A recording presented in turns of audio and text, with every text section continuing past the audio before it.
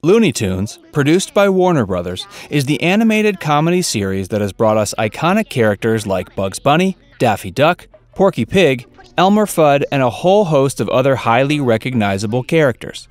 The show, alongside its sister series Merrie Melodies, has inspired an entire franchise of toys, video games, movies, spin offs, and even amusement park rides. It has unquestioningly become the Warner Brothers' flagship franchise. Even though Bugs Bunny has become a cultural icon and has even been given his own star on the Hollywood Walk of Fame, you'll be shocked to discover that Looney Tunes has a dark, secret history of racism lurking in the shadows. Not only that, but Looney Tunes has also been accused of plagiarism on many occasions. The show itself was basically a knockoff of Disney's similarly themed animated series Silly Symphonies, which premiered in 1929. Stick around for the whole video to see how even Bugs Bunny himself was guilty of being a racist bigot back in the day. You're not going to believe how he treated a person of color. This is the video Warner Brothers doesn't want you to see. Factsverse presents Looney Tunes has a hidden racist past.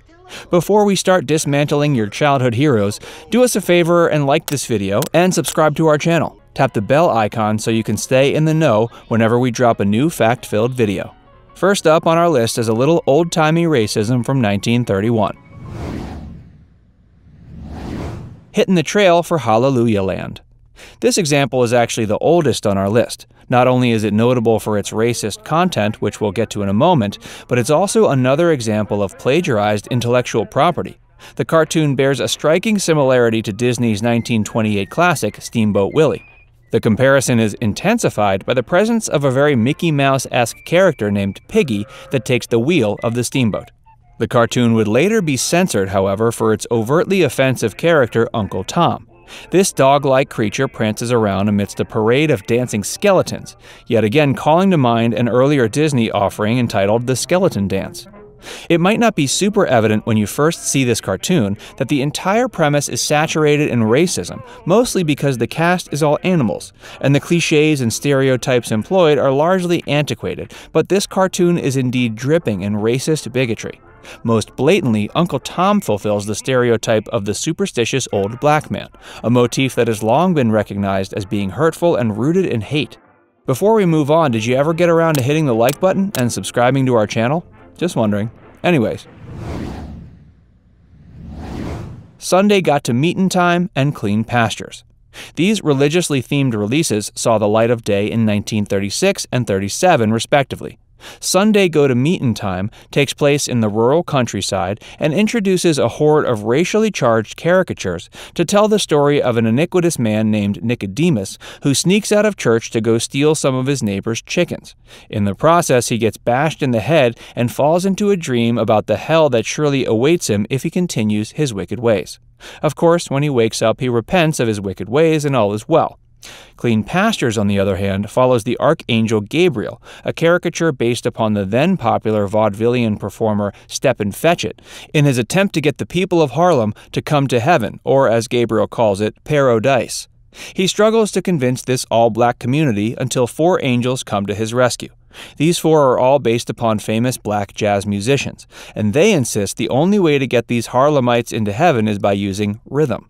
Using music to draw in the black masses was so successful that not only did droves of inner city folk flood into heaven, but even the devil himself repented. Both episodes heavily employed the use of offensive stereotypes and hurtful cliches. There's a good reason why they've been essentially censored in recent years. Jungle Jitters in the Isle of Pingo Pongo. Both of these 1938 tunes exploit the idea of the island being full of savage natives. The Isle of Pingo Pongo serves more like a parody of travelogues, while its cousin, Jungle Jitters, focuses on the unfortunate unfoldings that transpire when a traveling salesperson finds himself kidnapped by the island's native population. He soon feels much like a fish out of water among the island folk.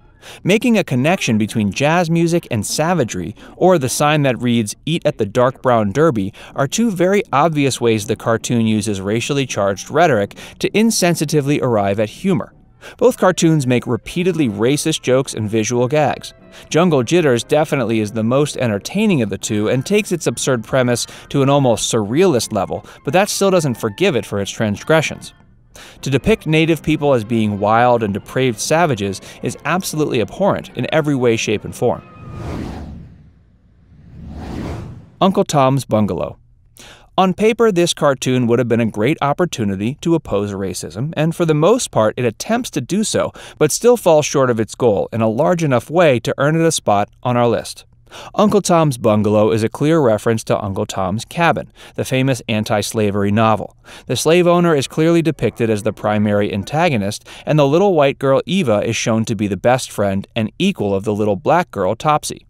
This might sound like a premise that is every bit the opposite of racist, but unfortunately, attempts at humor repeatedly miss the mark, and the intended message is lost by a mountain of racial stereotyping and poorly executed and insensitive jokes. Angel Puss. This is one of the most overtly racist cartoons on our list, and the only one directed by the legendary Chuck Jones. Angel Puss follows the story of a cat that's being chased by a black man who's attempting to drown him. It's a story that feels similar to the Bugs Bunny and Elmer Fudd dynamic, but instead of being lighthearted and innocent, it's steeped in racism. Everything about the depiction of the African American adversary is disgustingly offensive. First off, his name is Sambo, which in itself is almost a racial slur. Then his voice and superstitiously foolish behavior shout nothing but prejudice and bigotry. To top things off, Puss seems to take great delight in sadistically causing their aggressor as much pain and torment as they can. Coal Black and de Sebben Dwarves. This Snow White parody is rife with racial humor and stereotyping from beginning to end. Despite being eye poppingly offensive, it's also considered to be one of the best animated films of its era by some critics. It was released in 1943 and is notable for having an all black cast of voice actors, and for making use of jazz music for its soundtrack. But seriously, it's still pretty shocking if you watch it today. Even the title of the cartoon on its own is pretty clearly a racist jab at the speech and vernacular of African Americans. So, right out of the gate, it was off to a bad start. But that bad start continued on to our next cartoon, which pursued similar themes, but without any of the substance that made it in any way redeemable. Goldilocks and the Jivin' Bears. This one is very similar to the Coal Black cartoon.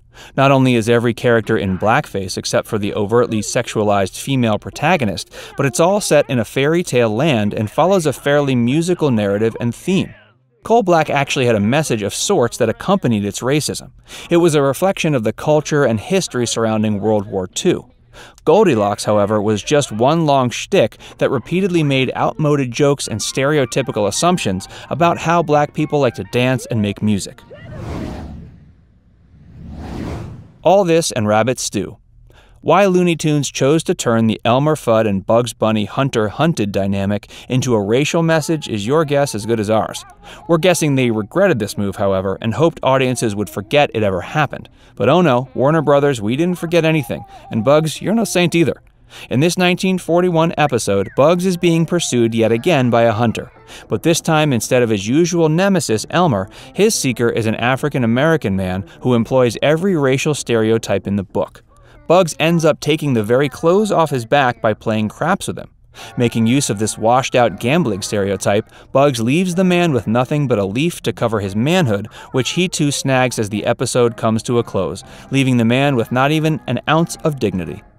Well, that wraps up another one of our videos. Hope you enjoyed learning the shameful history of one of the entertainment industry's most iconic team of mascots and miscreants.